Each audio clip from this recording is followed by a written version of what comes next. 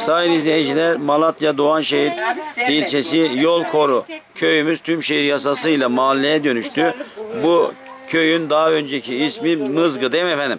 Evet. Mızgı'ydı. Ee, Ne zaman değişti bu Yol Koru oldu? Yaklaşık bir 20 yıl oldu. 20 yıl önce Yol Koru köyü olarak değiştirildi. Tüm şehir yasasıyla bu köyler de mahalleye dönüştü.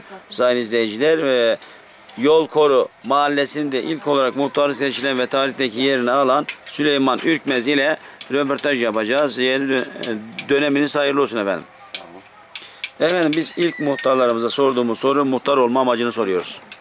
Muhtar olma amacımız bizim büyük. Nasıl işte gençlik takımını getirip köyümüze daha iyi hizmet verebilmek için Evet. biz kendimize aday ettik. Evet. Kazandık. Hizmetimize devam ediyoruz. Şu anda bütün sorunlarımızı çözmüş durumdayız. Kaç aday çıktı karşınıza? Ee, iki. Yani bir, birebir. İki aday yani bir karşına bir aday çıktı. Kaç oy farkla muhtar seçildiniz? 25, 25 oy farkla muhtar seçildi. Köyümüz kaç haneli efendim? 100. 100 haneli. Nüfus ne kadar? Yaklaşık 600. 600 nüfus var. Evet. E, seçmen sayımız? 300. 300 de seçmenimiz var. Evet sayın izleyiciler burası e, Malatya Doğanşehir ilçesine de kaç kilometre? 5 3 kilometre. E, üçüncü yakın köy zannedersem değil mi efendim? Hemen hemen birinciyiz biz yakınlıkta. Birinci mi? Toprak. Toprak Tepe'den biz daha yakınız. Aynı seviyedeyiz. Karşı karşıyayız şu anda. Evet yani birinciye yakın köy. Efendim bu ma- mahallemizin altyapısı kanalizasyonu tamamlanmış mı? Şu anda onlarda bir sıkıntı yoktur. Tamamlanmış durumda. Bizim sulama suyumuzda sıkıntımız var. Evet. Yok ayran. O da fındıkla sorunluyuz yani. Onlar bize barajdan suyu vermiyorlar. Bunlardan dolayı sıkıntımız var. Onlar da gerekli yerlere ilettik. Çözümünü arıyoruz. Çözümünü arıyoruz. Evet. Evet. Köyümüzde efendim taziye evi var mı? Kültür evi, taziye Taziye evi. evimiz yoktur. Evet. Muhtarlık odası. Muhtarlık odamız yoktur. Evet.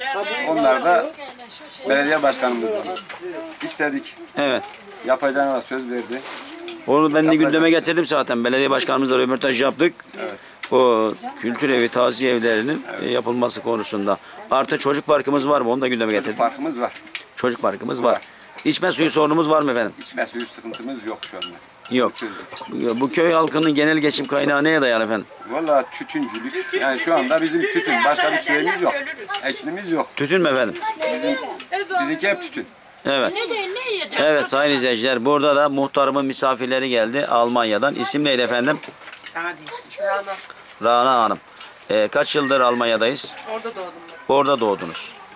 Efendim e, e, kaç yılda bir e, köyümüze geliyor?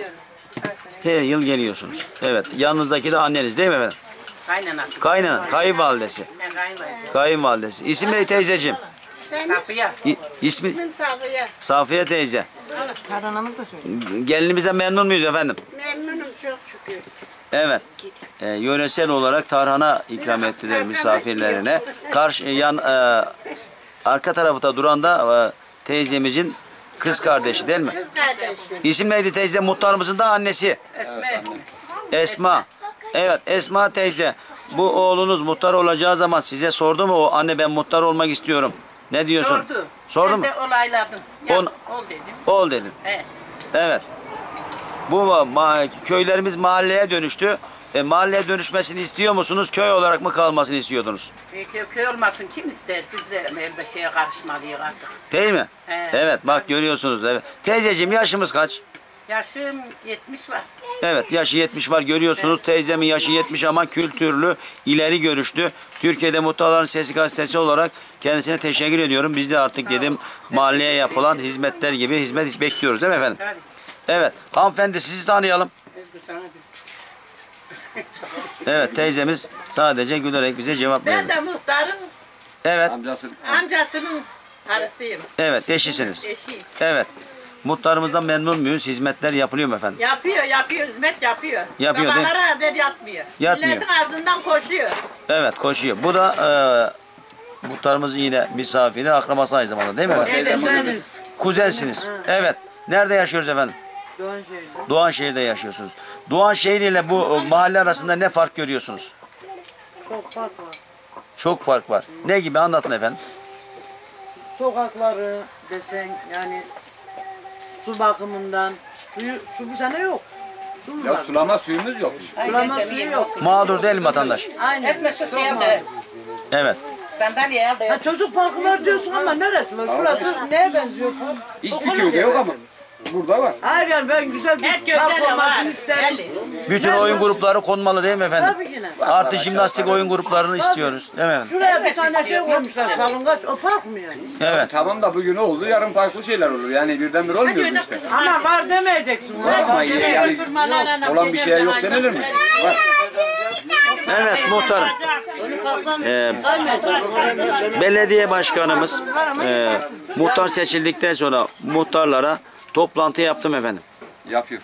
Yaptı değil mi efendim? Ayda bir So- yapıyor. sorunlarınız var mı diye sordu. Dinliyor, evet. Köyümüzü ziyaret ettim efendim. Ediyor.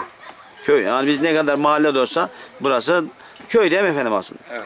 Evet size soruyoruz yani mahalle mahalle olarak mı kalsa iyiydi, köyden tütülen kişiliği devam etse mi iyiydi? Mahalle olarak daha iyi oluyor. Atıyorum işte en basit örneği çöplerimiz toplanıyor. Ben bir de var. Evet. Sorunlarımız daha çabuk gideriliyor. Evet. Yani- Evet e, enişte beyefendi size de bir söz hakkı tanıyalım. İsim neydi? İ- Atlan. is- Adnan Bey. E, az yaklaşırsanız seviniriz. Şöyle iki teyzenin an, kayınvalide, o anneniz değil mi? Bu annem bu teyzem. Evet, o annen o teyzen. Evet kaç yıldır e, yurt dışında yaşıyorsunuz? Ben yurt dışında doğdum. Orada Bir do- senedir. Buyurun Aydın. Kaç yaşındayız efendim? 39-40'a Maşallah ya e, 29 yaşında gösteriyorsun ya. teşekkür ederim iltifat. Biz teşekkür ederiz efendim. Şimdi e, Almanya'nın hangi şehriydi efendim? Köyünde kalıyorum. Köln'de kalıyorsunuz. İlgisi Almanya ile. Türkiye arasında ne fark görüyorsunuz? Estağfurullah. Me- şehriniz, memleketiniz Doğan şehirle diyelim. Canım doğa bakımından Şart. çok farklı. Yani Evet. Türkiye'nin doğası çok Es, güzel. esme. Ya ben Do- şimdi aşağıya İnsan yanımda hakları ile ilgili efendim. Kim var? Hizmetle alakalı. O konulara girmesek, değinmesek bence. Ama değinmez. Halkın bizi öğrenmesini istiyoruz. Türkiye'de Muhtarların Sesi gazetesi halkın sesini Ben duyuyor. şimdi Türkiye'nin sistemini ve insanlarını pek şey yapmadığım için, 17 burada yıldan yetişmediğim beri- için Tamam ilk abi. bana geldim. çok farklı geliyor yani. O konuda bir şey diyemem. Evet. Teşekkür ediyoruz. Evet muhtarım. Ben düşer o çocuklar oradan. Ee, büyük şehirden hizmet almaya başladık mı efendim? Çöplerimiz düzgün toplanıyor mu? Çöp Toplanıyor. konteynerlerimiz yeterli mi? Şu anda yeterli değil de tamamlanacağını söyledi başkanım. Tamamlayacaklar inşallah. Evet. Ee, evet sayın izleyiciler, e, Malatya Doğanşehir Yol Koru e, Mahallesi Muhtarı Süleyman Ürkütmez Ses mi? Ürkmez ile röportaj yaptık. Kendisine bu 5 yıllık süreçte başarılar diliyoruz. Sağ olun teşekkür ederiz. Teşekkür ederiz.